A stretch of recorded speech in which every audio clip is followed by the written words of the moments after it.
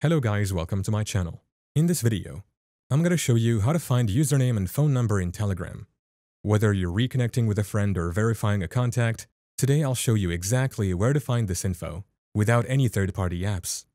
First, open Telegram on your phone or computer.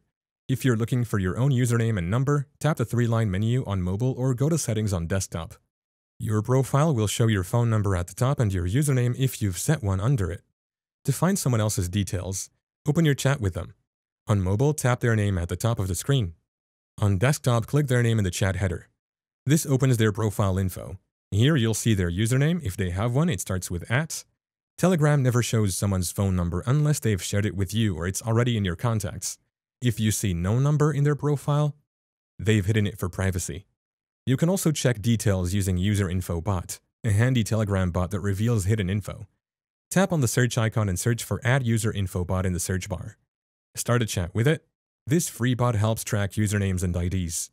To find someone's details, simply forward a message from that person to User Info Bot.